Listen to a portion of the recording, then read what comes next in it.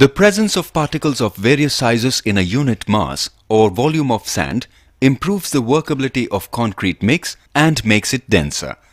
To determine the particle size distribution of sand, we can conduct a sieve test.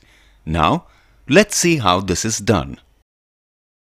If sand has less of finer particles, the concrete becomes harsh and does not give good surface finish when worked with trowel.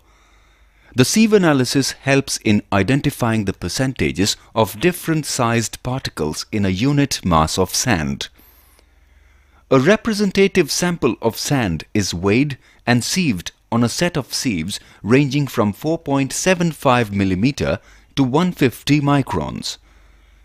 The sieves are arranged in ascending order with the 150 micron sieve at the bottom. The sample of sand is placed on the top sieve and the sieves are vigorously shaken for at least 2 minutes until the different sizes of aggregate completely passes through the successive sieves. The aggregate retained on each sieve is weighed to obtain the cumulative percentage retained with respect to the total weight of sample. The codes of practice specify a percentage to be retained on each sieve. The percentage passing is calculated from the cumulative percentage retained.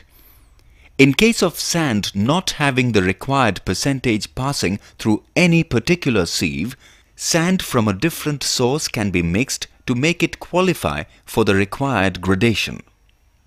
Sand consisting of different size particles produces concrete with minimum voids, improves its workability and density.